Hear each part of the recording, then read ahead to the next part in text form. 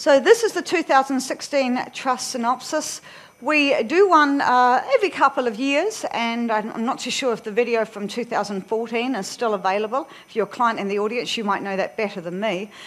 But it, if it's not, just ask uh, through our team, and they will, of course, make that available. This is the, this is the new one for 2016. Uh, if there's new cases that come through, I may do 2017. We'll just have to see. It's not, uh, not really sort of any point in just standing on stage each year giving you the same information. So I've tried to give you new information this year.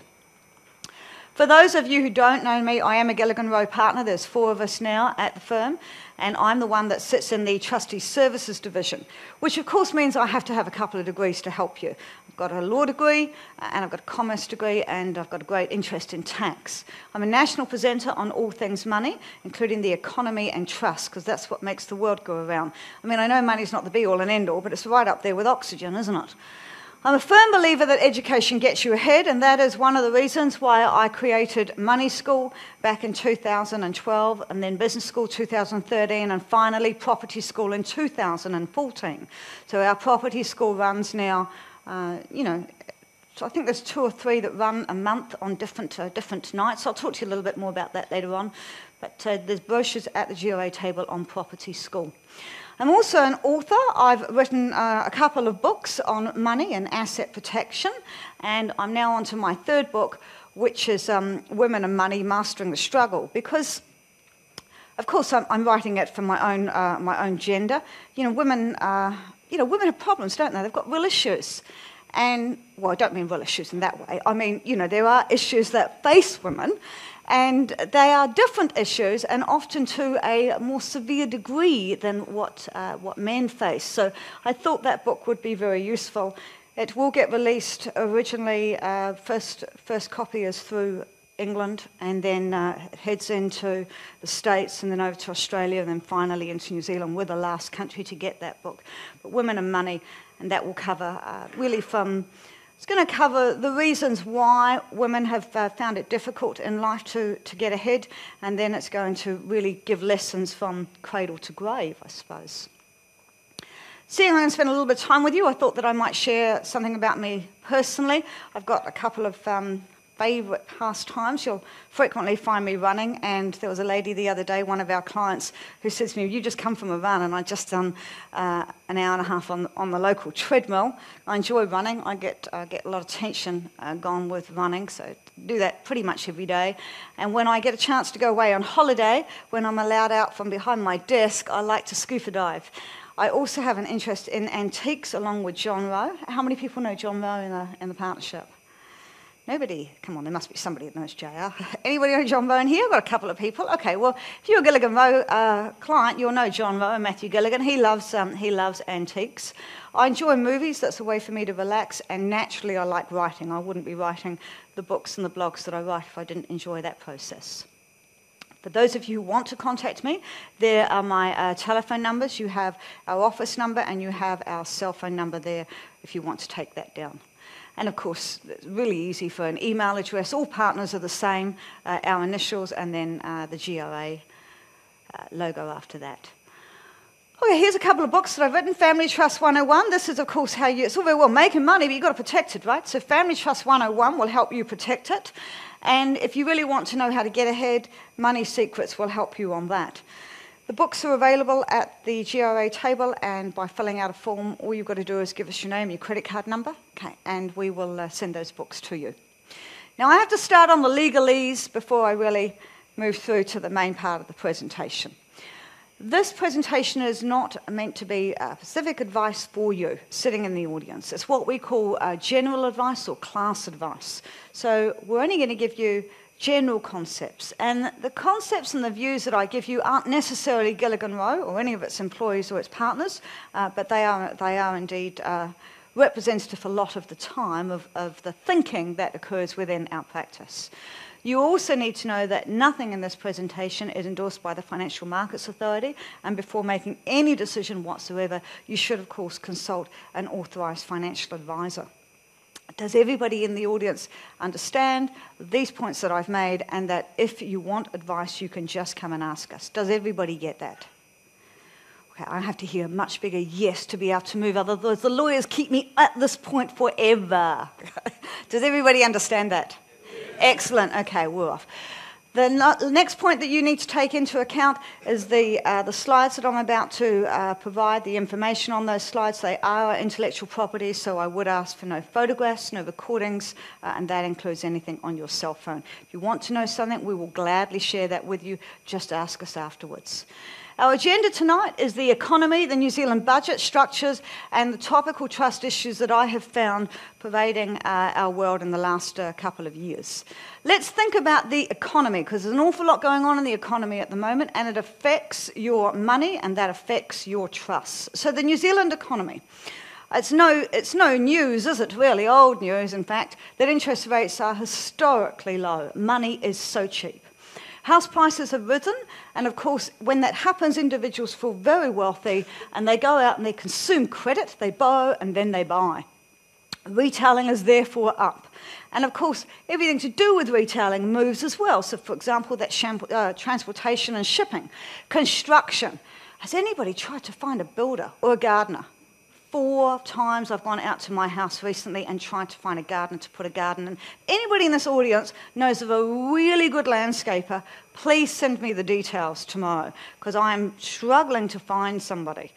Construction and everything to do with construction has definitely um, pushed through the barriers of growth, that's for sure. And in fact, it would grow even more if they had the labour. I was talking two days ago to a developer who is trying really hard to get his hands on a crane. He's been waiting and waiting for a crane to get things moving. It used to be that you could book a, a, concrete truck and they would be there within you know, a couple of days. Now try three weeks. Construction is really booming in our economy. And employment data has got a bit of a lift, you can see that, and it needs it, by the way. Tourism and associated industries, of course, have all been uh, a driver of employment because they are on the increase as well. And the New Zealand dollar has, uh, has climbed. And it, does, it shows no signs really of abating, I don't believe, especially with what's going on in England at the moment. We're all waiting with bated breath on the, um, on the referendum tomorrow. The dollar is up, and that's simply because our economy looks better than anybody else. That's why they like to buy the New Zealand dollar whilst we've got more, um, more people in employment, okay, wage growth has, uh, it either hasn't occurred or if it has, it's been very slow. And that is because there's a large supply of labour that's come through, especially through migration, which employers can choose from. And so, of course, you've got subdued wage growth. That, of course, keeps uh, inflation down. It certainly doesn't allow it to, to grow that much. Dairy's down. It's likely to stay down for some time. That's, of course, affecting our farmers and everybody uh, around them. And that's mostly because there's an oversupply of food. Depresses prices, isn't it? If you've got you know, a lot of supply and low demand, of course, prices go down for any necessary economic good. And as I said, dairy incomes, when they drop, they have a run on effect. And some parts in New Zealand will feel this more, more than others. And that is because their, their area, their region is more dependent, uh, or how's a better way of putting that, a, a nicer way of placing those words, would be that uh, dairy is more prevalent in that particular region, and as a consequence, there's more spending coming through the dairy incomes. So it has a run on effect, and some areas in New Zealand will feel it more than others. Construction and tourism hopefully will go some way to offsetting that drag. Overall, we're in good shape, but inflation is low and we need to get it up. And I don't think that this is anything new to most of the people that read my blogs. I've been talking about deflation since about August last year. One of the objectives of the budget, of course, is to get inflation up. And you've just recently had the New Zealand budget, haven't you? 2016 budget by the National uh, Government. And their, uh, their focus was to reduce future liabilities. So, in a way, they're trying to do that by spending uh, on health and to boost economic growth. And they're doing that by putting money into infrastructure, science, and innovation. They've got some objectives. The first objective is to act now to reduce issues that's going to reduce uh, or, or, going to you know, stop that drag on economic, future economic growth, and invest in issues that's going to boost the growth and, of course, lift the inflation. They want to achieve a total sur- uh, surplus of 6.7 billion, a large number, by 2020, and they want to reduce government debt to 20% of GDP in 2020. What they're going to do if they get their surplus, is they they're intending to use about three billion of the of the surplus to uh, reduce our income tax rates, and we're all going to be happy about that, aren't we? Everybody wants to uh, pay generally as little tax as possible, and I guess that might induce us to vote national again. I'd like to see a show of hands here. How many people think that they would vote national again? Come on, don't be shy.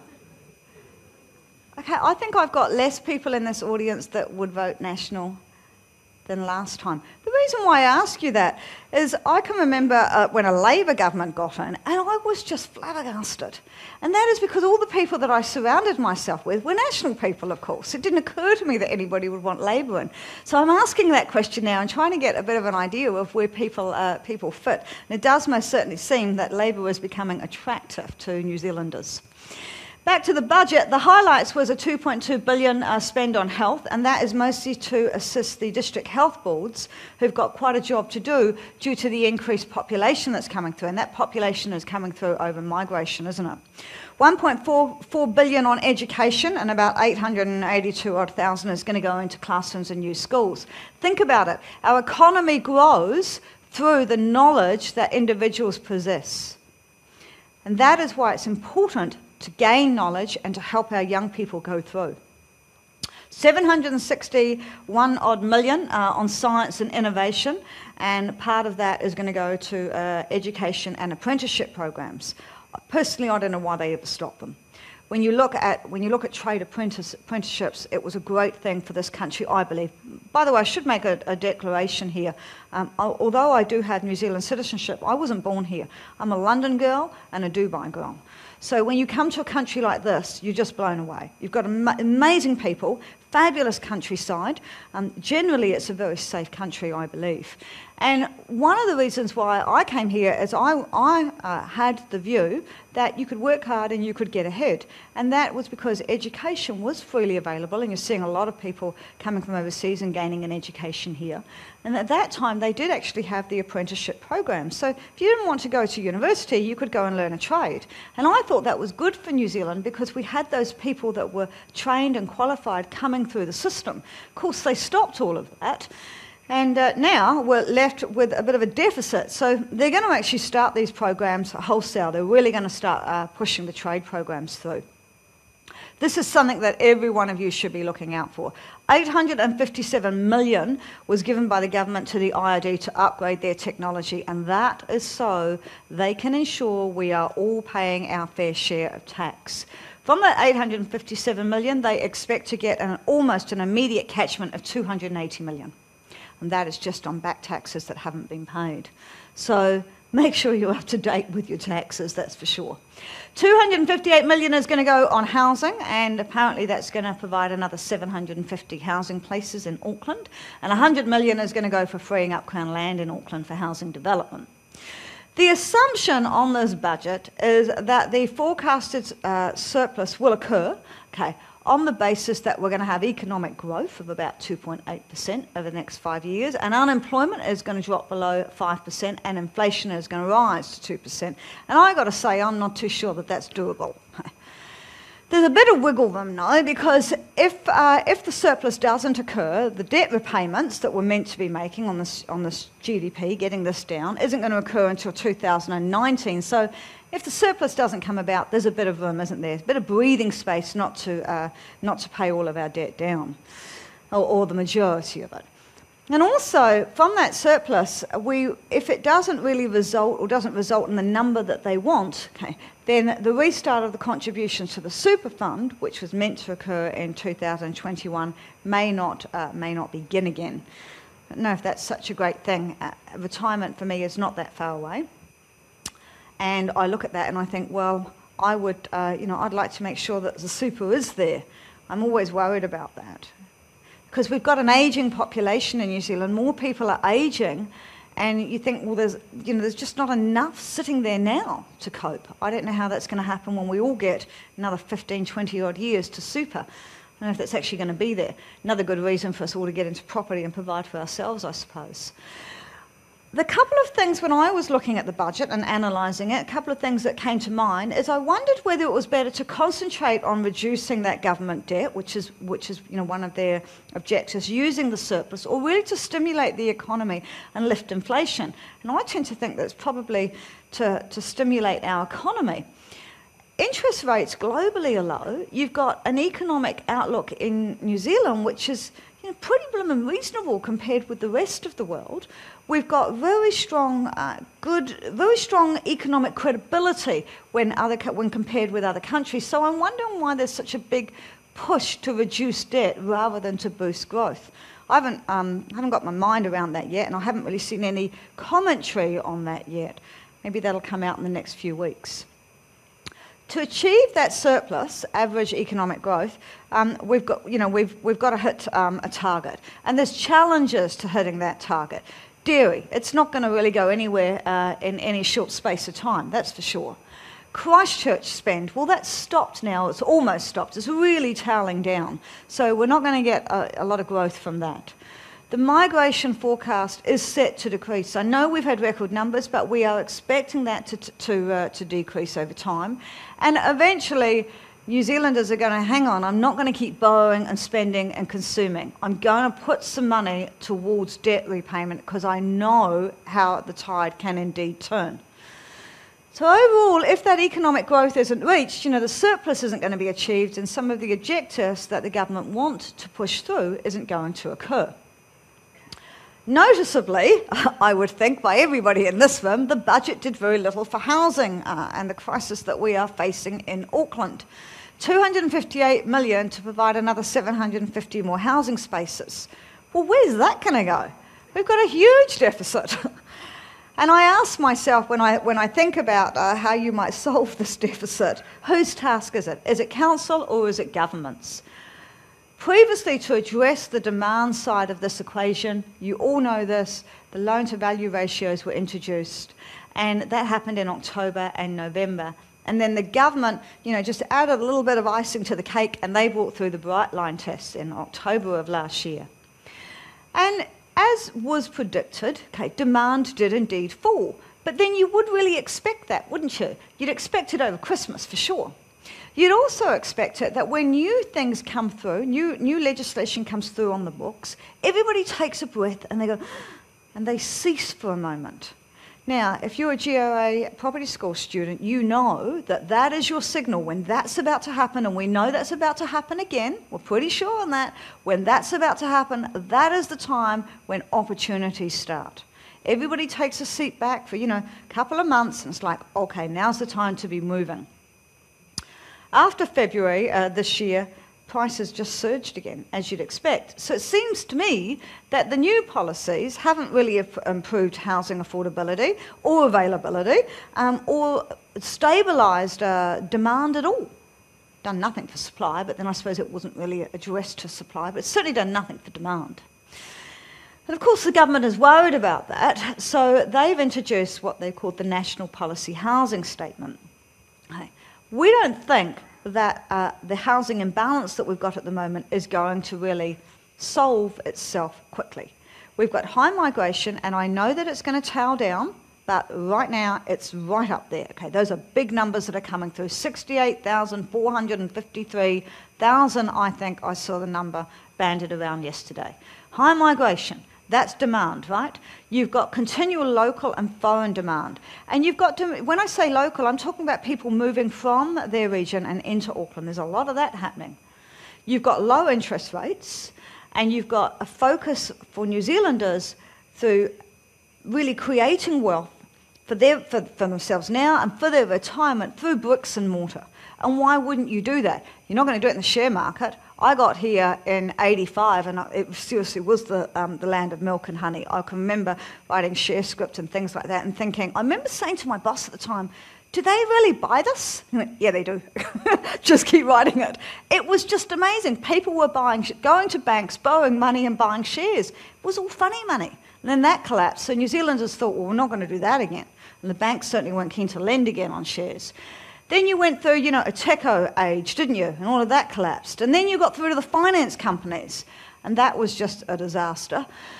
And now, of course, we're at the point where we know that if we can see it and touch it, we've got a really good idea that it's going to stay on our balance sheets. And that is why we move, uh, move growing wealth through property. Now, tax laws, of course, assist in that, don't they? We've got a ready availability of credit. You've got Westpac showing that right here. They're right at the back of the room for us to help us on that. There's a shortage of properties for sale. You are hearing agents tell you that all of the time. And we've already got a deficit in supply. We need 15,000 additional houses to be built, okay, and only about 9,500 are coming on stream. Not good. So as demand is going to continue, I can't see it, you know, shortening itself in the, in the, in the short run, in the, in, the, in the close run. And when I say that short run, I'm talking a couple of years. And the supply isn't going to come on tap on fast enough. Then, you know, the only way that we can move this forward, I believe, and also so the government believes, is for them to get a bit involved. And they want to get involved because they want to make sure that Auckland does keep moving. This is the economic hub of New Zealand. We're expecting between 700 and a million people in the next 30 years here. So our our um, viability as a city from an economic perspective affects the whole of the long white cloud. And so the government want to make sure that our needs are going to be met. So they've introduced this policy statement, and they did that uh, on Tuesday, Tuesday the 2nd of July, fairly recent. Um, they said that this is applicable to all councils, but in particular, it's applicable to councils with high growth high growth areas such as Auckland. And that statement legally directs the councils to provide sufficient, sufficient land for new housing and businesses to, to, uh, to match the projected growth, the surveys of projected growth that they undertake in their area. And then they have to measure and publish the impact of their decision on house prices. So now we're getting down to things like resource consents, okay? important data. The tension, of course, exists because you've got council and you've got government like this. Building affordable houses, high density housing on surplus land while ensuring new communities are well planned and have appropriate infrastructure is just, you know, it's set for causing headaches all over the place, isn't it? The challenges faced is council have got to issue consents uh, in a timely and cost efficient manner. I don't know if anybody's been trying to get subdivision off the ground, especially a, a reasonable size one, but it can take you ages in this city. Putting in and paying for infrastructure. Okay, nobody uh, that is existing uh, in an area wants to actually pay millions of dollars levied through their rates bill for new subdivisions to be built around them. They say, well, we're already here. We're already paying for, for the use of the roads on our rates. Why do we have to pay for more? Availability of construction workers and tradespeople, they're like hen's teeth. Everybody went to Ruland. Then, when some of them have come back, they've all been used down in, in Christchurch and Wellington. I know that stopped, but building projects are just mammoth in Auckland at the moment. Just look at the, look at the skyline and you see the cranes. Get in your cars and drive around some of the areas, and they are all building flat out. You can't find builders right now. There is, of course, a monopoly on what, uh, what constitutes acceptable building materials, too, at, at, uh, at this point of time, and that pushes up costs, building costs. So it's very difficult to say we're going to build affordable housing when our costs of actual construction is moving. The government's responded to a lot of the arguments that council have put through, and they said you either comply with this statement we are going to appoint commissioners to run the city, and if you have to, you sell down your assets in the city to actually make this happen. Overall, though, it's my view that it's doubtful that the national policy statement is going to bring down house prices. It might, eh, if it, if it kicks off, it might possibly slow the rate at which the price increases occur, but I don't think that it's going to just bring them right down so that we can all run out and, and buy a couple of houses each. And all this means is that there's more pressure on the Reserve Bank and they are going to have to respond, and they will have to respond to get the growth up and the inflation up. Okay? So I think that they'll do that by lowering the OCR. Previously, it was thought that they were, they were going to maybe lower that you know, in, the, in the last round that's just happened, but I think that they're playing this wait and see game. The US uh, Federal Reserve is expected to lift rates. And when I say expected, you've got 50% of the poll over there saying, yep, we're going to lift. And then you've got the other 50% saying, well, labour data is not that strong, okay, and I don't think that we can lift.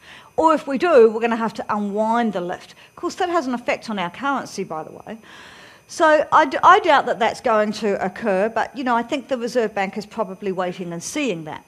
Petrol prices have risen. The budget's provided uh, an additional tax of 10% on tobacco, and of course infrastructure spending has also been provided for in the budget. So all of that should actually lift inflation.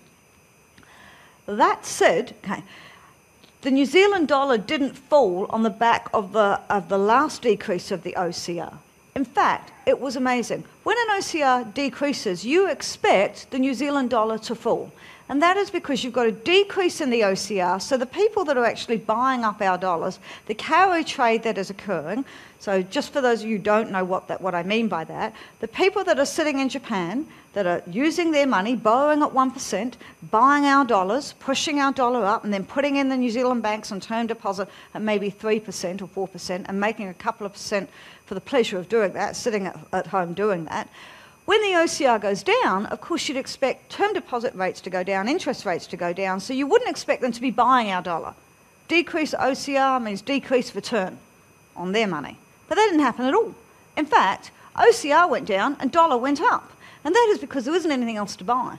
And if you have a look at what's going on at the moment, we've got a referendum in Britain tomorrow on this, you know, it wouldn't surprise me if, if the dollar just moves again when the OCR decreases, because it's perceived to be a very steady and safe currency. Anyway, to increase the spending and the inflation, the Reserve Bank is going to have to act. And so it's going to be faced with this familiar dilemma, which has been really going on for some time now. First, to ensure financial stability of a monetary system, and secondly, to promote spending to increase inflation. If the Reserve Bank refuses to cut, uh, cut the rate, you know, the New Zealand dollar is going to keep continue to, uh, in, to rise, and inflation is not going to increase. So that's not going to, um, that's not going to help our people very much especially the exporters. But if the Reserve Bank does act, it's going to have little effect, I think. We've got low inflation, we've got low interest rates, we've got high asset prices, and that's sort of a world phenomena. That's that whole deflation argument that I'm talking to you about. The old monetary tools that we used to use decrease OCR so everybody will borrow more and spend more. I just don't think they're going to work. Deflation is the new worry. If the Reserve Bank does act, though, it is pretty sure, I would have thought, only a personal opinion, but I think it's pretty sure that they're going to introduce a new macro-prudential tool. And they do that to ensure that you know the consumption of credit isn't isn't um, so either widely available or so widely uh, taken up by consumers because it wants to create this promotional uh, financial stability throughout our system. So here's some tools that it might possibly use. First off, it could increase the LVR in and outside of Auckland. And I guess it will just choose. You know, if it's going to do that, it's going to choose. Right now we're at 30% in Auckland. Maybe it goes to 40 or 50%. Maybe it lists the regions from 20 to 30. I don't know. When it first introduced these policies, I looked at that and I thought, well, the fundamentals in the regions generally haven't changed. You don't have more employment going on, you don't have different industries going in there, and yet you're now getting price increases in property where you didn't get it before. And when you look at that, that's got to be about people flocking in and buying the existing supply and bidding up prices. So then you analyse the data and you say, well, who's doing that? And it's Aucklanders betting against Aucklanders. That's what's moved their prices up. So all you've done is move the financial risk from, from Auckland down to the regions. And I reckon that that heightens the financial risk because you get to a point where supply is um, supply actually outstrips demand. And the reason for that is you'll get more developers down there that will build and build and build, and then you'll have people left with houses which they thought they might possibly be able to uh, rent or move, and they'll just kind of be sitting there. And you see it in every economic cycle when it, when it turns. You see that happen. So I don't think um, it's a smart move to just simply, uh, you know, increase LVRs and have a differentiation between Auckland and the regions, in my view. Borrowing in the regions is likely to be linked to Auckland security. So in actual fact, it's all interlinked. How, you know, how smart is that? The next tool that they might introduce is they might require banks to hold more capital. And they did this when I was in, um, last year when I was in Port Douglas, this happened in, uh, via the government there. They, um, via, sorry, via the central bank there, they decreased OCR and it hadn't been passed on to consumers. And that is because government at the time had mandated that banks hold greater, uh, greater capital in their accounts. So That didn't get passed on at all. If banks do have to hold more capital, though, it is likely that the cost of that will be passed on to borrowers.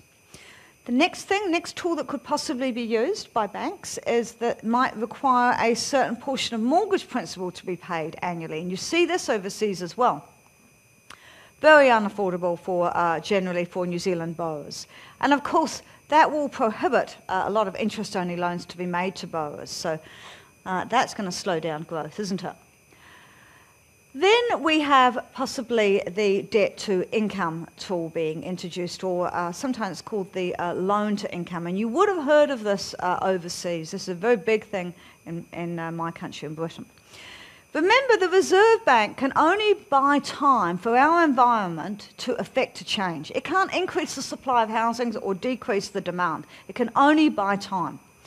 Hence, the objectives of this tool is to slow down the pace of house price rises by reducing credit and to reduce financial instability if the banks have to take a hit.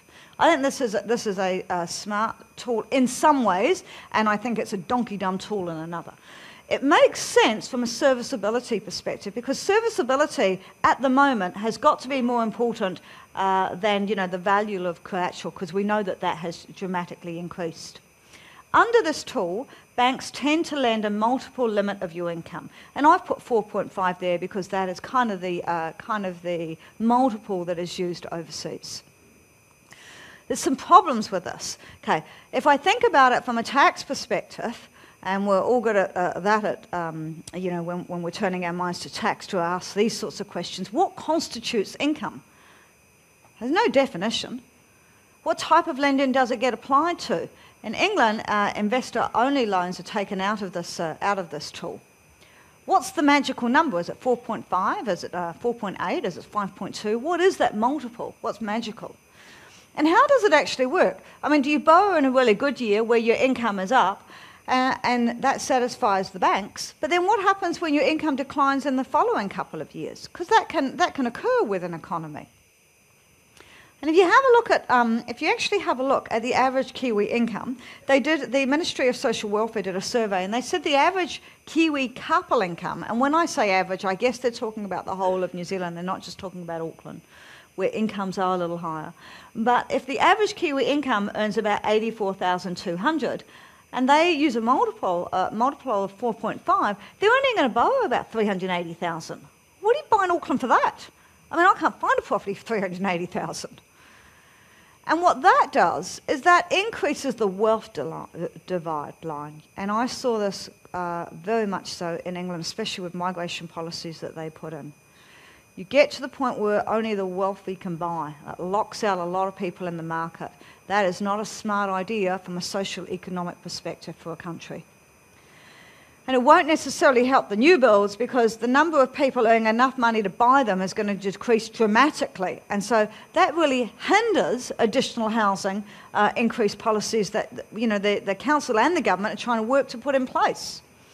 And of course, it pushes borrowers to other sources of lenders other than registered banks. And you know, and I know, that when you've got um, when you've got people that are really desperate to get somewhere and they need credit to do that, they can often end up in the wrong hands. We see a little bit of that, especially in a frothy environment which we've got now. My question uh, is Would the tool actually be effective in curbing supply uh, of credit and creating financial stability? Well, overseas data has shown that this is just not the case. It doesn't, uh, it doesn't stem the increase in house prices, but it does slow it down, but only for a short time. So I don't know if it's going to, I doubt that it's going to achieve its objective, that's for sure.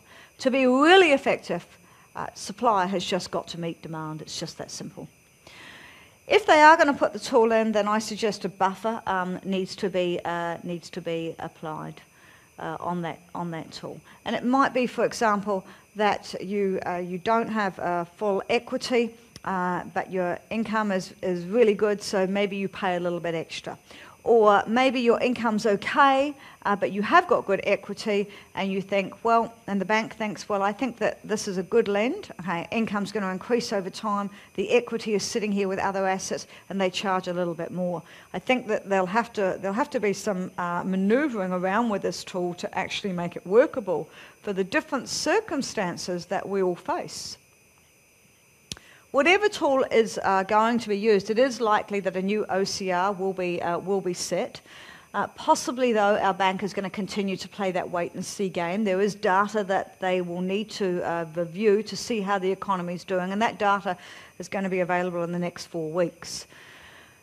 What effect the uh, Fed's going to uh, have, if indeed it increases on the 15th of June, will be very much of interest, and also what's going to happen in Britain whether Britain is going to leave the EU or not. And from a political and economic perspective, whatever Britain does, whether it decides to stay or whether it decides to leave, it is going to create some volatility in the market, which will affect currency rates and possibly interest rates. Because remember, our banks borrow money from overseas.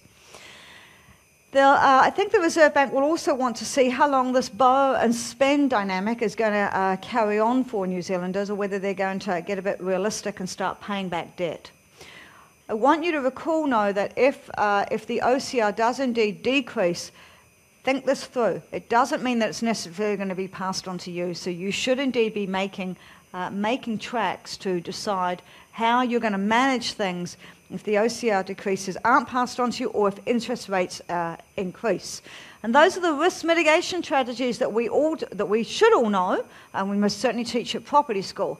First off, you implement a strategy to manage your risk in regards to interest rates before you need it, not after. You don't go to a bank and say, listen, I've been made redundant, uh, my house is on the line because I don't think that I'm going to be able to meet next month's mortgage payment, and by the way, my, my wife has just left me. You know, that's not a good look as a borrower. You get this stuff now before you need it. You go through things like interest rate tranching. Take a, take a bunch of uh, dollars that you owe the bank, maybe you owe them 500,000 and you put it into different, uh, different amounts over different periods of time where you'll pay different interest rates and then you'll average that out. And also revolving credit facilities. They're like great big overdrafts. I think they're great uh, facilities to have in place so that if you need them, you can draw down on them. Again, I, you know, I say to you, when an economy turns, when it tips into, uh, you know, past the tipping point in an economic cycle, when it's coming down into a, to, into a slowdown time, generally what happens is that uh, asset prices go down, and it's only if you're forced to sell that you suffer that loss.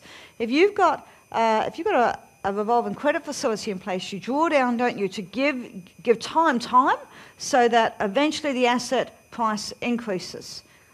I think everybody understands that, um, that concept. Developers use it a lot, and if you are involved in property or if you've got businesses where cash flow is up and down, then you should definitely have these things in place, revolving credit facilities. Okay, no one's got a crystal ball at all. If we had, then I wouldn't be here. I'd be probably sipping champagne on a yacht in the French Riviera. But my pick at this point in time, given the data that I've looked at, is I think OCR is likely to be cut in August of this year. That's my pick. I don't think there's going to be two or three cuts. I think that'll be your one, and then, uh, then they'll do the wait and see game uh, for some time. Now I want to move to structures because there's a lot of people in this audience that are not GRA clients, so we've already seen that through the attendance list. And I just want to, uh, people that are, I want you to bear with me. This is a quick reminder for you. People that aren't, I just want to bring you up to date. When, um, when you are building wealth, you've got to actually think about how you're building it. The Reserve Bank wouldn't be thinking about introducing these tools if property prices weren't increasing. And the central bank is indeed right to be concerned. Okay? Have a look at these prices. Look at this. Auckland in the last 12 months has increased 15.4%. Hamilton, 26.2%. Have you got wages increasing at that level? Of course not. So there's a good reason why they're concerned. Will prices continue to increase? Well, migration is still flowing strongly. There is pent up demand and it is growing daily. There's a severe deficit of housing supply. We know that. We also know that council are going to need a lot of time to get their processes in place. And of course, we need the builders to come online as well. And builders are really busy. Interest rates are low, and what that means in my mind is that people want to consume credit and buy. All good factors for those wanting to build wealth uh, through property. And if you're going to do it, we would like to think that you will do it through the use of a trust or a company that is linked to a trust where it is protected. And so this is a concept that we have at Gilligan Rowe. It's called asset planning. And for those of you who are not our clients at this point, what we want you to do is we want you to put really a wall in. We want you to take all of the assets that are in your personal name and put them in structures, often in a trust, so that you move them to the wealth side of the risk wall. So if you own houses and cash, then they are at risk from creditors, relationship claims, and government means testing. Of course, if you move them over here, they are protected. We want that to happen. And Shannon's already given you an example uh, where, uh, where you know, a risk can come home through no fault of your own. I'll give you another example with a client of ours a couple of months ago. The house was, um, the house was tenanted. The tenant uh, filled up their boat with petrol, parked it outside the house, right outside the house actually, because they were going fishing the next morning. A reasonable sized boat, I might add too. So fill this boat up with petrol, park it outside the house. There's a problem overnight, and they have traced it back to, uh, to engine fault, but there is a problem overnight, and the boat catches alight, which starts the house fire, which then jumps the fence to the next door neighbour. And the insurance companies say, well, it's not our fault, it's the tenants, go after the tenant. Of course, it all goes through the courts. And then, um, and it finds that, you know, it's the, it, the owner has to chase the tenant. And the tenant says, well, if I had that kind of money, I wouldn't be renting your house. So now the owner is responsible for fixing their house and the next door neighbours. And I tell you this because claims can come out of nowhere through no fault of your own. Give me another example. Let's assume that you go and buy a house, you put some paint on the walls and some carpet on the floor. It all looks fine. Hold it for a couple of years because you don't want to be paying tax on, uh, on that under the Bright Line test. Then you decide that you're going to sell it. So you sell it to Mr. Smith, who happily buys it from you and lives on it for about eight or nine months. And then winter comes and he rings you up and he says to you, Listen, this house leaks. You say, Well, it didn't leak when I had it you know, and all I did was paint it and put some carpet down on the floor. Not my fault. And he says, well, I bought it off of you. You warranted that it was, it was a good house fit for purpose of accommodation. I'm telling you it leaks as an 80 grand bill and I want you to pay it. And at that point you say, well, I'm not paying it. It's fine, I'll just attack your assets. And that's exactly what will happen. So claims can occur through no fault of your own. And that's just creditor claims. If you look at relationships, and we are in an age where there are a lot of second and third relationships, you know, if you've got um, if you've got assets in your personal name, then that is personal property, which of course is up for divvy when it comes down to relation demise. So relationship claims can attack to personal property, and then you've got your government means testing, which we will cover. So it's not smart to hold your assets in your personal name. Far better for you to move all of your assets to the wealth side of the wealth and risk wall. So best known protection known, uh, known to man and, and um, and woman and mice is a trust, of course. It's been around for hundreds of years. So you take your assets, which in this instance is a house and some cash, and you sell it to the trust. And the trust will then pay you for that by giving you an IOU. And you think, well, I've done pretty well here. I've got rid of all of my assets. But you have to remember that that IOU, that is an asset in your hands. So if a creditor comes along, the creditor is going to demand that you call up that IOU. And if you have to do that, then what that's going to do is that's going to force the, uh, the trust to sell the assets, put the money in a court bank account, and then that goes out to the creditors. That is not a smart place for you to be. So if you're going to sell your assets to the trust, you've got to make sure that your IOUs actually have uh, clauses in them which protect that balance. And by the way, this comes from the ANZ versus uh, Hawkins case. I think that occurred in 1987 and then on appeal 1989. So the first thing you do in your IOU, and by the way, uh, the legal name for an IOU is called a deed of acknowledgement of debt. The first thing that you do in your IOU is you put a Hawkins clause in there, and that says only you can call up that loan balance. And if you are a GRA, GRA client and I'm your professional trustee, these are the things that we do. When we check the uh, deeds of acknowledgement of debt, we make sure these clauses are there. It's one of the reasons why we don't like outside parties, outside advisors, doing your deeds of acknowledgement of debt. So we put your Hawkins clause in there automatically. The next thing we put in there is an entrenchment clause. Because the Hawkins clause says only you, the person that sold the assets to the trust, can call for the balance of that loan under the IOU. And the entrenchment clause says when you call for it, you'll give the trust up to nine years' notice. Now, bear in mind, you're the trustee, so you can waive your rights to that nine years. If you want it and want that money, you can get that immediately. However, okay, if you've got a creditor chasing you, okay, and let's say, and it would have to go to the Supreme Court, so we're talking thousands of dollars, but let's say they knocked out the Hawkins Clause and said, yes, Mr. Creditor, you are allowed to claim on the IOU. The next thing we would say as a professional trustee is, thanks, we got your claim notice, we'll see you in nine years. Belts and braces approach from a professional trustee. Hawkins and entrenchment clauses are imperative. The alternative that you might have is you might gift everything to the trust. You won't sell it, you'll actually gift it to the trust. Okay. Now it's sitting in the trust. And a lot of people have done that over time. But there is a trap. And I want to mention this trap because a lot of people have done this and they're wondering, you know, what effect it's going to have. And there's some people that have yet to do this and are wondering whether it's a smart thing or not to do. If you gift everything, when you come to need a subsidy from the government, WINZ's going to review the gifting you have completed in your trust. Now, gifting laws changed in October 2011. Previously, you could forgive debt up to the value of 27,000, but a dollar over that and you started paying gift duty. In October 2011, they said, nope, you can forgive the whole lot. You don't actually have to pay gift duty at all. And there were thousands of New Zealanders that did that. If, however, you were a GRA client, you got a note to say, really think about it. These are the scenarios. Seriously think whether you want to do this or not. And at least 50% of our clients are still on annual gifting programs. It's because they don't want that gifting uh, clawed back. After the 1st of October, you could give everything in one lump sum. But there was indeed a catch, and the catch is really set out in detail in the family trust book. But I'm going to give you an example. Mr. Smith transfers his home to a trust. He receives the IOU, the debt back, from the trust of 450,000 because that was the market value of the house. He gives 27,000 annually, and after five years, he's completed, you know, 135,000 of gifting. He then wanders off to his lawyer, and his lawyer says, "Oh, look, you can forgive the whole lot. Get rid of it." So he gets a word lump sum gifting of 315,000. Now he doesn't actually have to go through the annual gifting program every year, and he's feeling pretty happy about this. But in 2027, some years later, he applies for a rest home subsidy.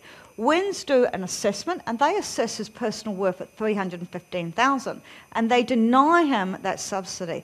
Now think about this. Right now today you're paying anywhere between 800 and 1500 a week for rest home care. That's going to come out of your assets, which ultimately mean it's going to, it's going to really deplete what you can leave your kids. Most parents want to have paid their taxes all their lives. They want to leave their kids their assets. They don't want to have to hand it back to the government. When WINZ assesses him, they say your 315,000 is over our threshold. Right now, 1st of July, sorry, 1st of July 2015, you allowed 218,000, and that does go up at the annual rate of inflation. Now, bear in mind, inflation's not running very high. So in 2027, when we had a look at this, 315,000 was way above the actual uh, proposed permissible legislative limit when it comes down to means testing for WINZ. So not smart to do all of your annual gifting all at once for a lot of people. And I say for a lot of people because there are some people in this audience where their value is too much and they're never going to be able to get through a gifting program during their lifetime. Moral of the story lump sum gifting, not always the smartest idea, and that is why you have to go through this with a consultant. Talking of traps, I want to talk to you about estate planning because that's another thing that people forget to do. Possibly because we've got a lot of family dynamics that have altered over the last few decades. We've got a lot of second and third families uh, interacting together. We've got people living longer and possessing more wealth. Okay, estate claims are on the rise. And last year, through our courts, we had 325 claims. Now, when an estate has to go through a court, and it's the High Court in the first instance, it causes your, uh, your beneficiaries or your intended beneficiaries a lot of tension and a lot of pain. Court costs are expensive. it is time consuming, okay, and the outcomes are always uncertain. So, for that reason, it's important that you get your estate planning right. And this is where true asset planning structure and consultants come into their own. They think through the structures so everything is covered. Not just the trust, but your companies, your partnerships, your other out, out assets that lie outside of that. Your role is to be very clear in your instructions, but your asset planning consultant is to be very clear and detailed in the documents. Documents, of course, should be updated uh, where appropriate. And the one big thing that these uh, that a lot of claims involve is do it yourself. I see this on the internet. I see it in bookshops. They have these will kits where you just fill in the blanks. And unva- invariably, okay, they create uncertainty and they end up in court, which is just plain expensive and time consuming and stressful and completely, utterly unnecessary because wills are so cheap. They are cheap as chips. You know, they're like a couple of hundred bucks to actually deal with all of your wealth, which is often, by the time you've added up your house and all of your other assets, often hundreds of thousands of dollars. So surely you'd spend a couple of hundred bucks on getting that stuff sorted. And here is, um, here is a chart which I think that I will actually, because I'm not going to go through it, I think I will actually put that up on our website at Gilligan Rowe. So that's a note to the GRA team to, uh, to really get me sorted on that in the morning. I think that would be quite good for people to have a look at because they often wonder what goes into a will and what goes into a memorandum of wishes. Here is a family trust, and it's got assets there. What have I put in there? I've put a house, I've put life insurance, uh, cash, and some shares. And the first thing that we would get under the estate planning uh, documents to be done is we would get our clients to sign a memorandum of wishes. And that memorandum of wishes says, when I'm dead and I no longer need this trust uh, over here, when I no longer need my family trust, I want you to set up trusts, in this example, for my children and split the assets out. So now I've got rid of the assets, okay? They've gone out to the children's trust. They've gone from trust to trust. So if these children, and by the way, when I say children, we're talking 30 plus clearly, but if we've got creditors or relationship claims, these assets, or the values of them, the money, monetary values of them, are all protected because they've gone from trust to trust. They've never gone into personal hands, so they can't be touched. The next thing that we would do at Gilligan Rowe is we would ensure that you put a will in place because the will has to deal with your personal affairs. For example, uh, do you want to be buried? Do you want to be cremated? Uh, who, do, you know, what do you want to happen with your jewelry? You know, maybe your engagement ring, you want to go to your, uh, your eldest daughter, uh, maybe your art your, or uh, your tools or a motor vehicle, you want to go somewhere. That's what your will deals with. But another very important provision in your will is when you're dead, you can no longer hire and fire trustees. So you, you've given up. You, you know, the power of appointorship is revoked. And that's vital for you to pass that to somebody that you trust. Because being an appointor in a trust means that you have the ability to put in and take out the trustees, who in turn have the ability to put in and take out the beneficiaries. So if somebody gets into this trust that's not quite kosher, then there's all the other trustees removed, all the beneficiaries removed, and the assets returned to them. That's not a good thing. So you put the power of appointment, you transfer that under your wills. Not a difficult job to do, but it is a necessary job because otherwise you end up in a situation where your estate is muddled, uh, difficult to manage, and ends up in court. And we've got two of them right now uh, that we are handling for other practitioners through the firm taking care of your children, because this is for a lot of parents, this is what it's about, isn't it? You're here, you're building wealth. I know you want um, the wealth to give you options during your lifetime, but you want to pass that on to your children so that they have better lives. It's taken a greater percentage of income these days to purchase a home, and you think, well, that's a bit unusual, really, because interest rates have gone down over the last couple of decades. Have a look at this. This is a table that came out, and I think that this was on uh, CoreLogic and also on Bernard's site, Bernard Hickey's site on interest.co. I think that's where it came from. Medium house prices to medium household uh, incomes. 9.7 for Auckland. That's really high, supposedly. Not necessarily, though, when you compare other cities. And I think Auckland's just coming into its own. It's just becoming an international city. And when, into, when cities go through this phase, you do see that they pull away from the rest of the uh, areas within their country.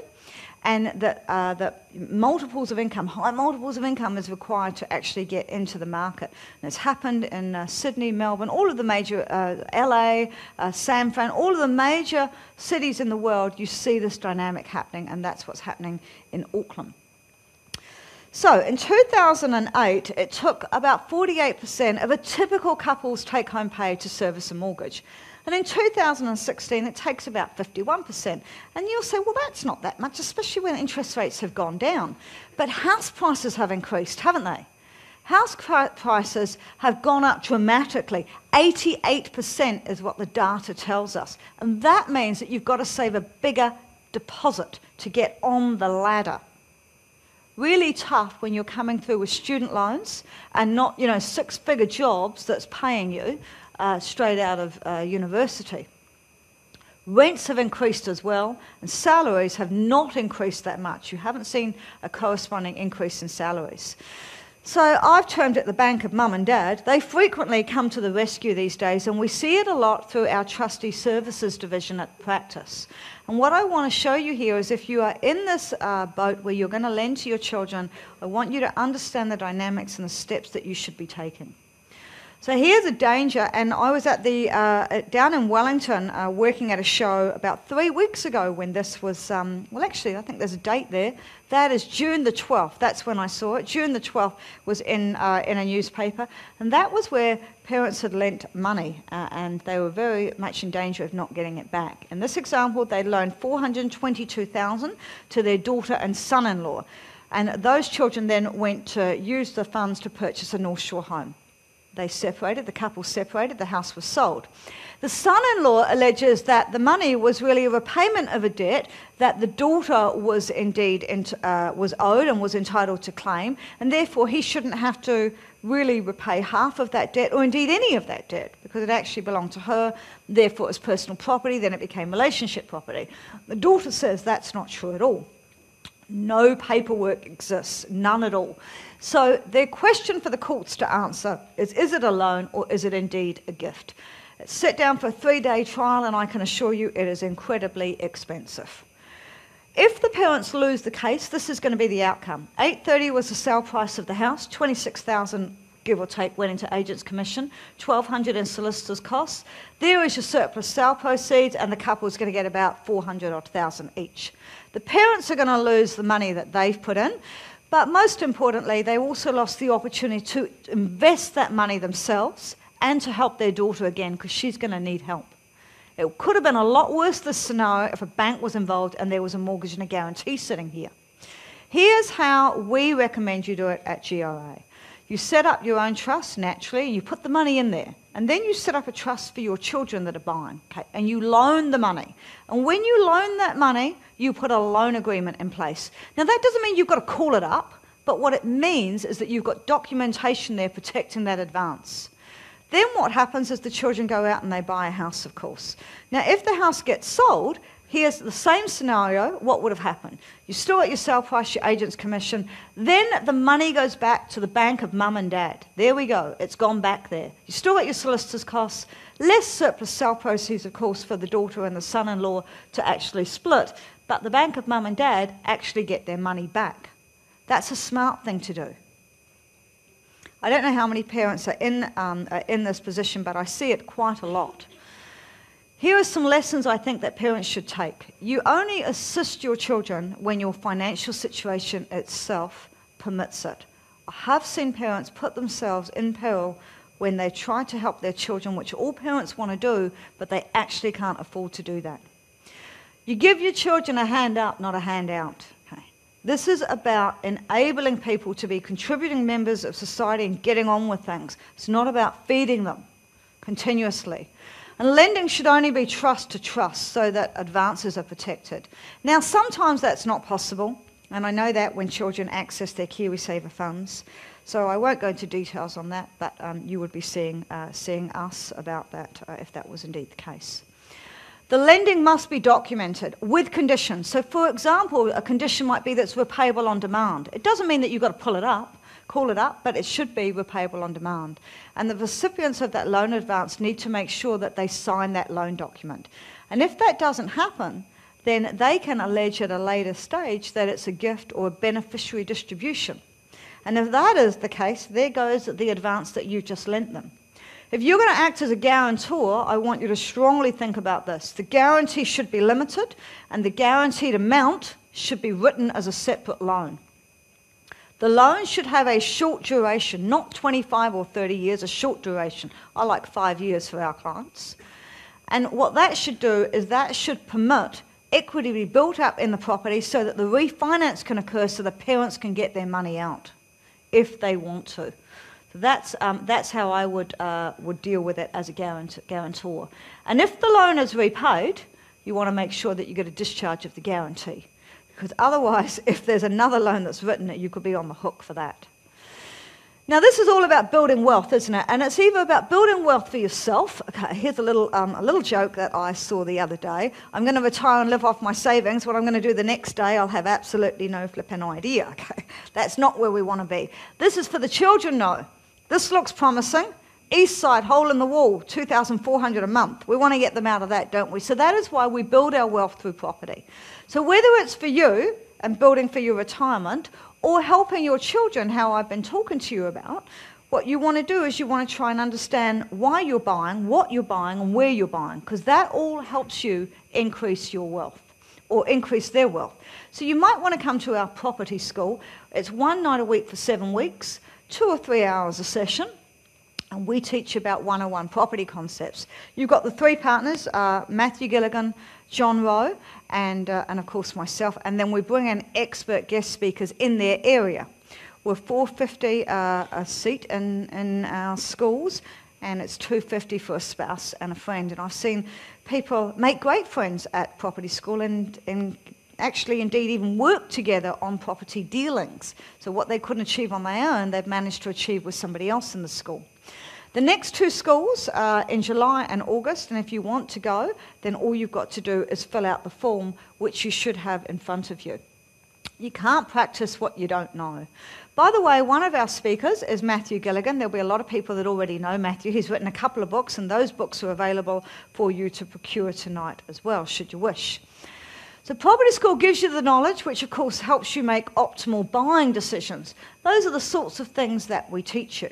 It's smart. It's smart 101 concepts. And I say 101 because for me and for a lot of our speakers, we think that it's really elementary. But in actual fact, people come through and they say, oh, I didn't know that. Okay. I didn't know that I could do that. Or I thought about that, but I wasn't too sure how that worked. So maybe it's not that 101. I, I do know that it definitely works. How many property, have I got any property school students here at all? Any at all? One, a couple over here, a couple down here. Well, I know that you're, um, you're not available to come up here and actually give testimonies, but go to, um, go to our table and have a read of the testimonies on the back of the brochures or have a look at our websites and you'll see what people really think about it. They're, um, they're honest testimonies sitting there. Here is the uh, brochure. If you want to, if you want to go, just um, simply fill it out and I can see in the front rows you've all got a brochure. Oh, I want to tell you about this. This is actually an investment property that I was given this morning by a company called Property Ventures, which Gilligan Rowe does indeed own 50% of.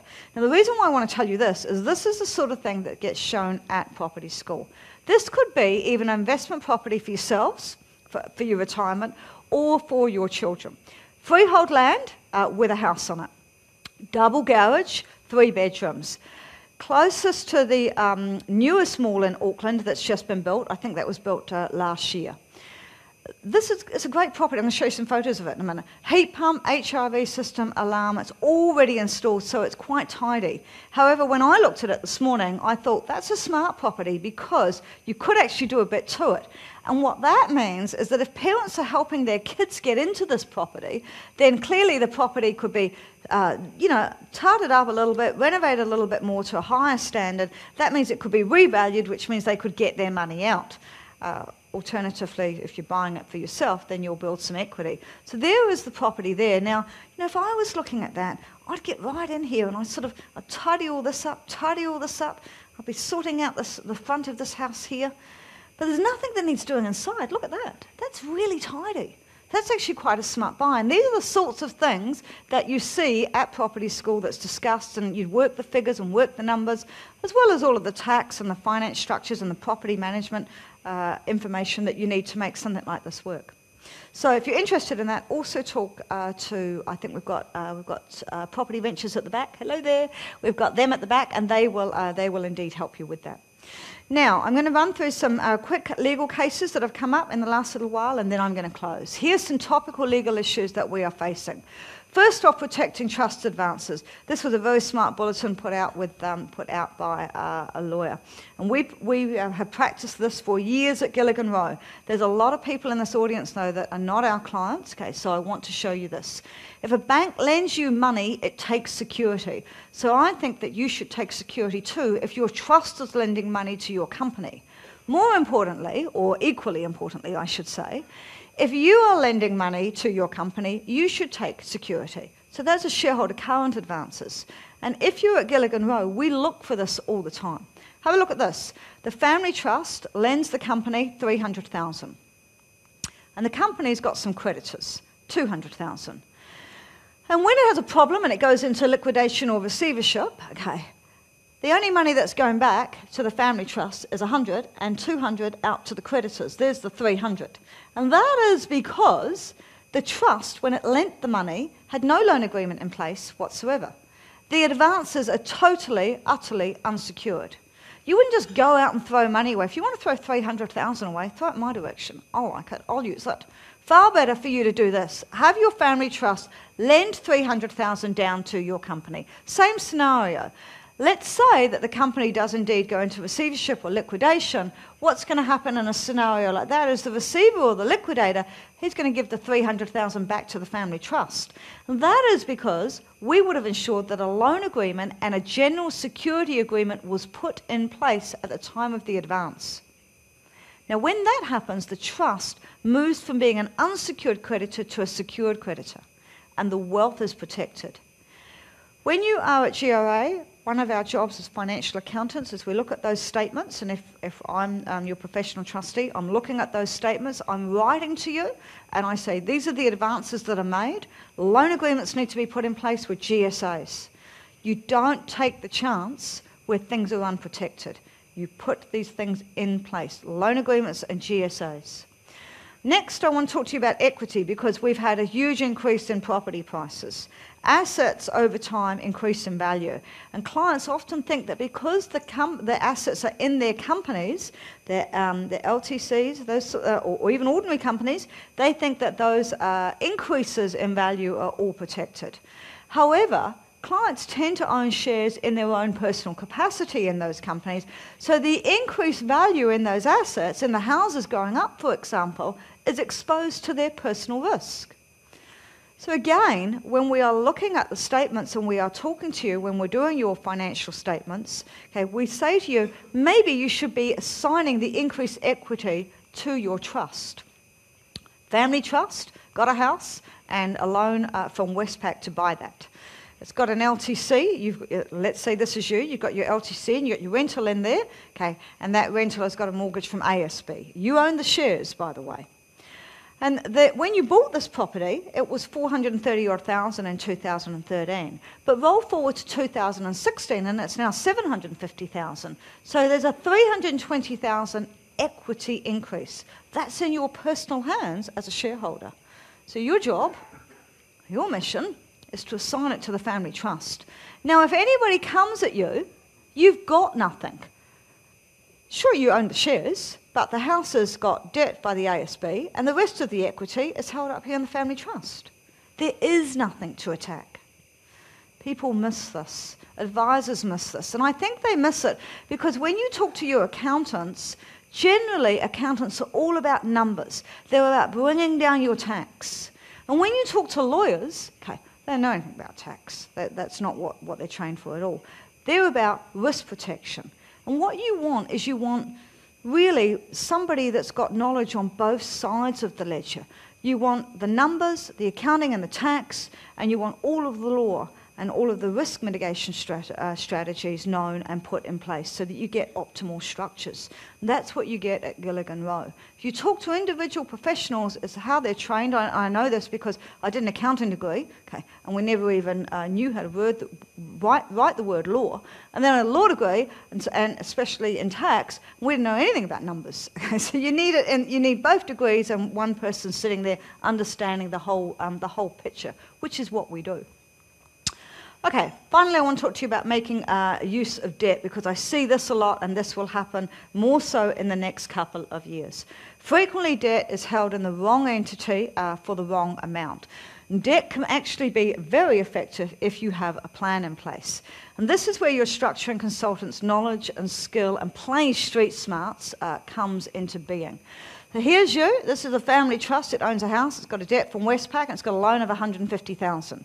You've got your rental company sitting down there, which you own the shares in, and that's got a house. Again, the mortgage over the rental is from ASB, and that's got a loan of 340, uh, 40, sorry, 344,000 over that property.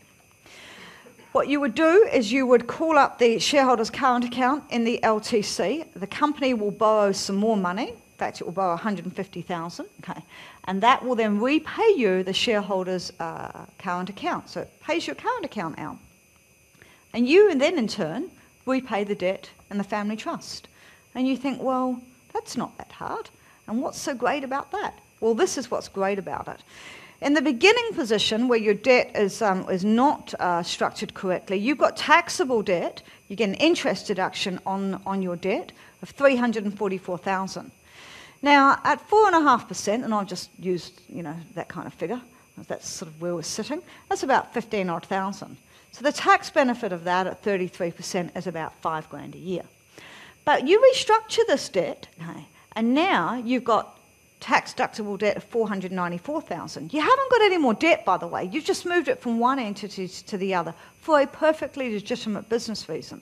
So there's no more debt. You still got the same debt. But now you're able to get a tax deduction on the 494,000 debt at 4.5%. So you're able to claim a tax deduction of 22,000. And the benefit of that is $7,335. Check this. Look at this. From here to here, and it's every single year, you're getting another couple of grand. So that's being smart with debt. And again, we look at this when we're looking at your financial statements or when we're actually looking at you and you come into our firm and we're setting up structures. We look at your debt position. So that's a smart thing to be doing.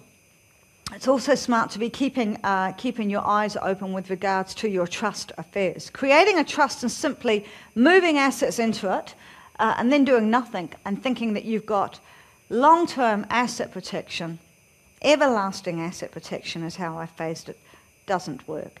When you take an insurance policy out with an insurer, you review it every year. Okay, that's a smart thing to do, and this should be the same with your affairs. You've got to meet your legal duties as a trustee, and you should be having an annual trustee meeting. There's not any legislative list which determines when a trust becomes a sham, okay, and when you lose asset protection, but there are certain things in law which indeed indicate when the trust is about to become illusionary or a sham. It's a moving target, by the way. And again, I will put this up on our, uh, on our blog in the next couple of days for you. But these are the different types of law and the different things that are considered uh, under these different types of law as to whether a trust is a sham or not. There's three cases that I want to tell you about uh, briefly. First off, the official assignee versus the Wilson case.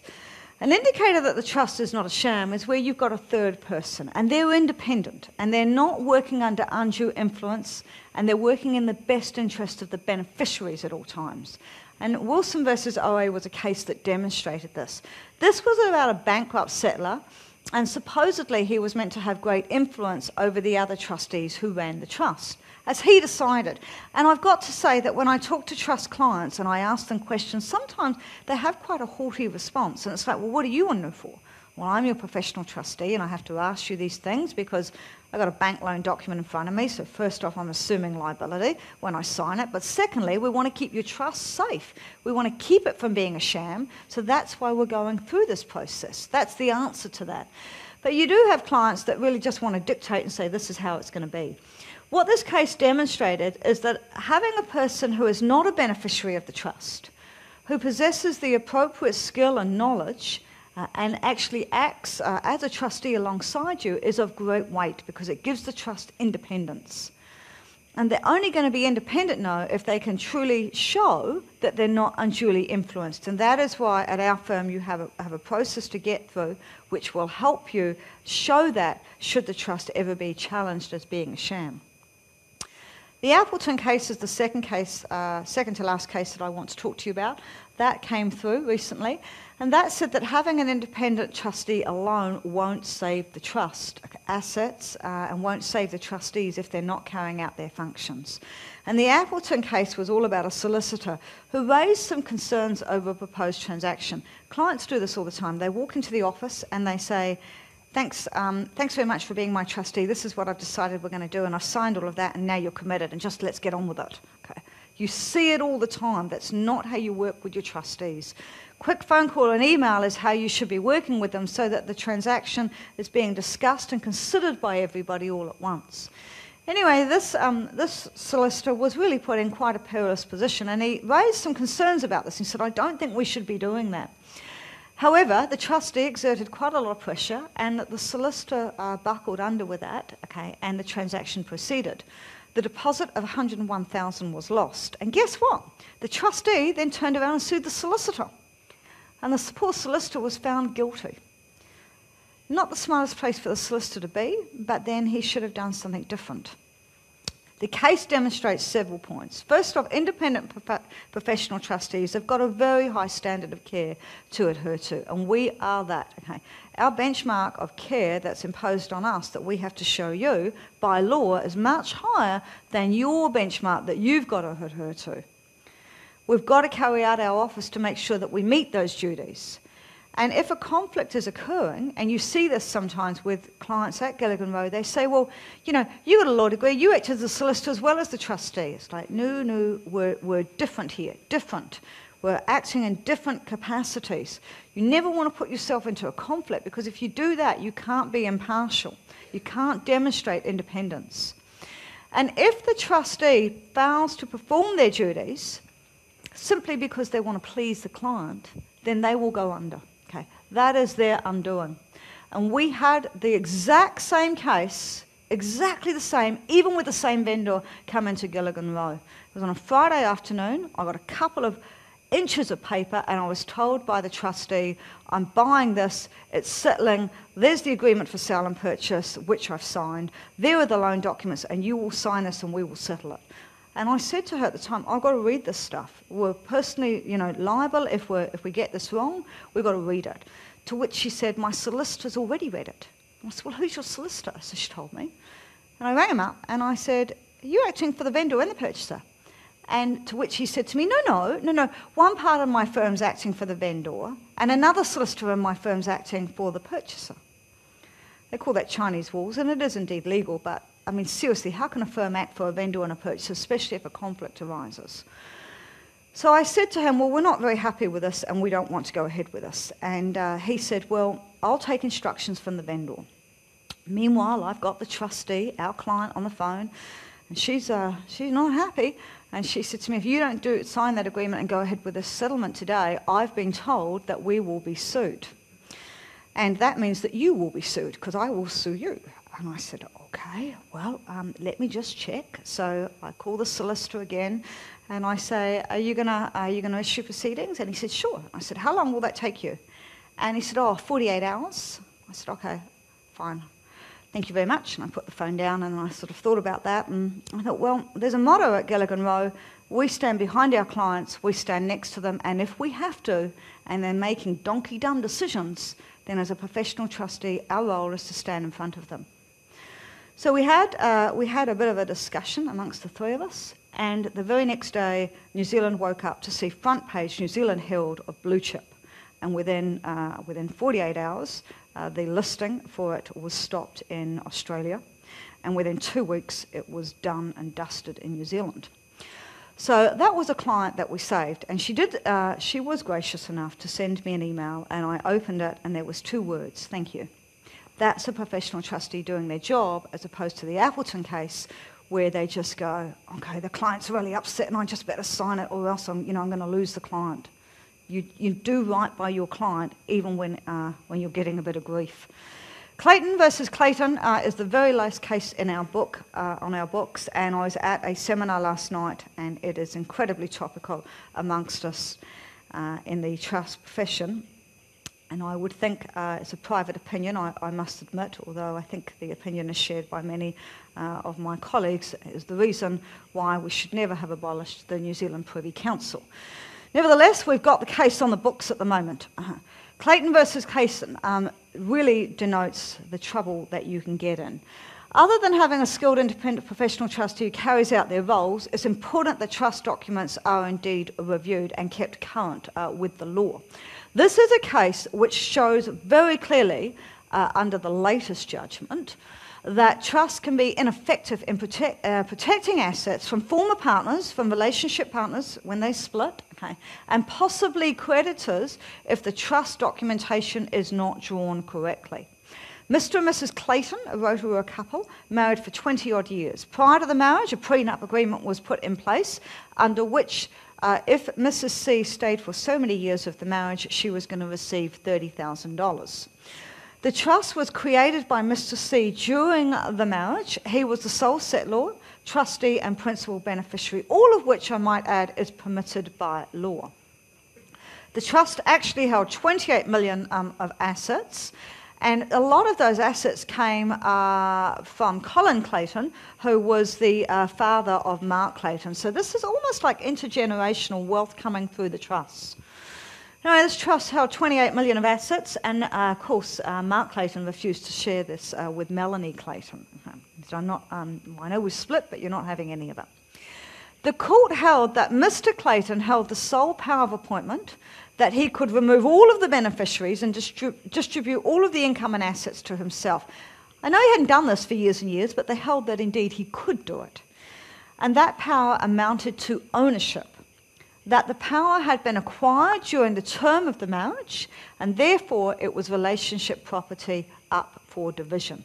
It is a landmark decision in our environment. It also discussed when, uh, when a sham and an illusory trust arises, but it didn't rule on that because that wasn't the issue that the court was facing at the time. What this case denotes is that it's very easy to see how a trust can become a sham. Especially so when the settlors are the same people as the trustees and the beneficiaries, and there's an independence, a lack of independent trustees sitting there.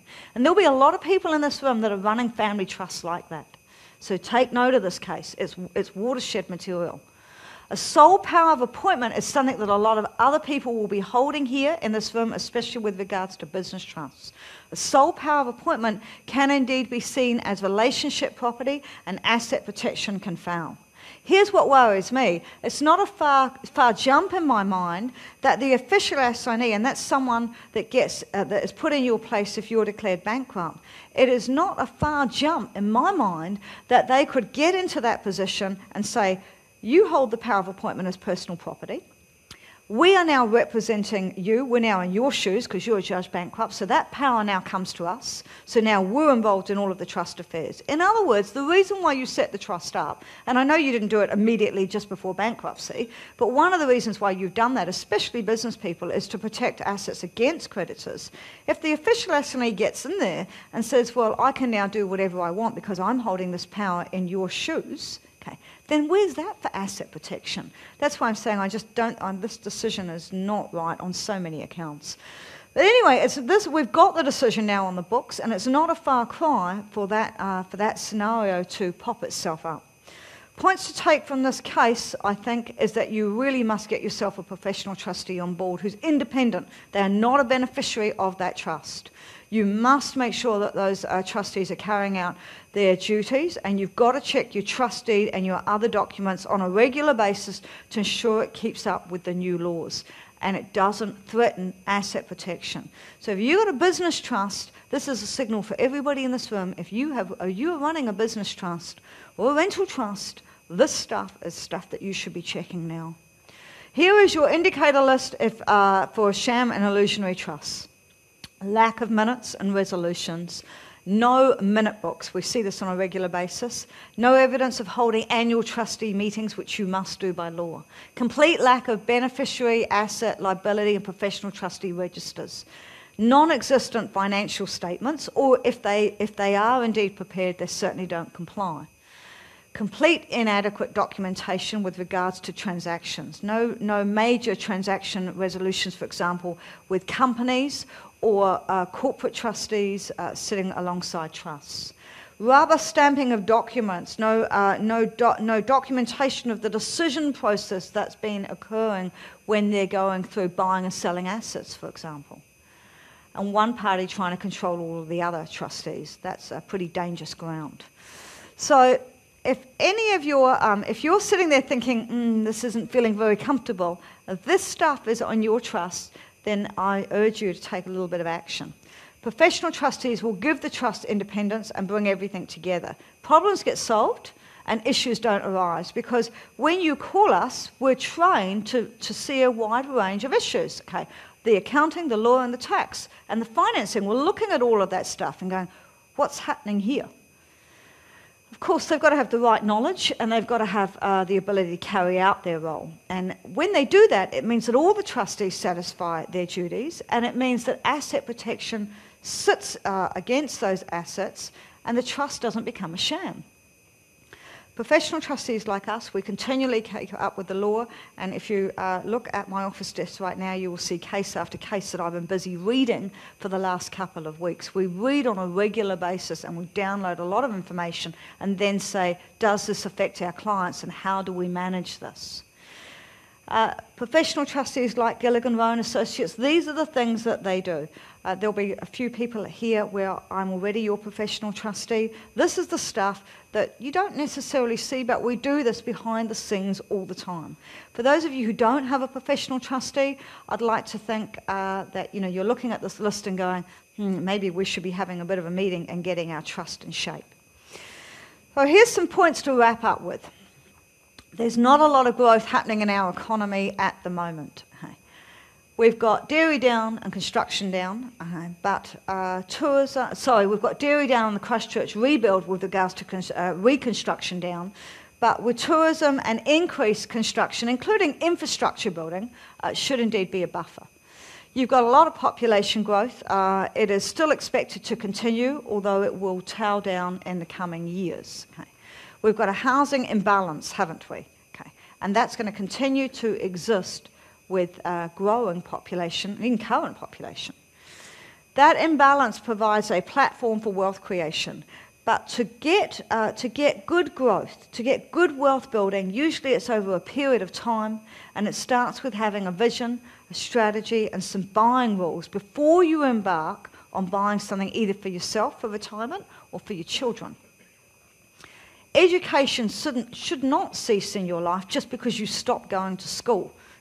You got to keep building your knowledge, and you get knowledge about property at property school. Your structures need to be put in place, and there'll be a lot of people tonight thinking, after I've just shown you those cases and those structures, I really need a bit of a review with my um, with with your own uh, affairs. Structures need to be put in place, and for optimal benefit, you have to have a complete picture. And what that means is that you're not just looking at the asset protection, but you're thinking about estate planning and you're thinking about tax at the same time. You don't build your wealth to leave the door open for it to be taken from you. You use a trust, you get a professional trustee, and you make sure that it is run correctly so that you avoid sham trusts and losing everything that has taken a lot of time and trouble to build up. And if in doubt, you simply have a meeting with us. An ounce of prevention, very old saying from my grandmother, an ounce of prevention is worth a pound of cure. This is indeed our organisation, okay, and these are the sorts of things that we can do for you. This form you all have, okay, and if you want help, uh, for example, if you want to have an initial meeting to discuss your structures, or maybe you want to talk to us about accounting, your accounting needs. I think I showed you with regards to debt capitalisation. there that it's important to get the right accountant who's looking at these things. If you want to bring in your financial statements and have a meeting and let us review that sort of thing, talk to us about your accounting needs, you'd fill out that form. If you want to go to property school or have a trust review, or even think about appointing an independent professional trustee like us, you'd fill out that form. Well, I think I'm uh, just about at the end of it. I've got a couple of jobs left to do, I think, before I close. First off, I'd like to uh, thank my seminar partners at Crockers and Westpac. I'm very grateful for you coming forth and joining with us and sharing your knowledge and information to our audience tonight. I'd also like to thank GRA. We have two partners, Matthew Gilligan and John Rowe, who couldn't be here tonight, but they most certainly contribute to the knowledge that I've got, and so do our client service managers. We need to be appreciative of them. So John Heaslip, Celeste Chan, and Anthony Strevens, they're great people to have on board, and they're constantly helping me and our clients. So I want to thank them and I want to thank our staff uh, who's helped put on this event. We can't hold events without the GRA staff, so I'm really appreciative of that. And finally, I'd like to thank you. You've been an amazing audience. I hope that I have uh, I've imparted a little bit of knowledge, and uh, I want to thank you for your time tonight. You've been the best audience I've had all evening. Thank you very much.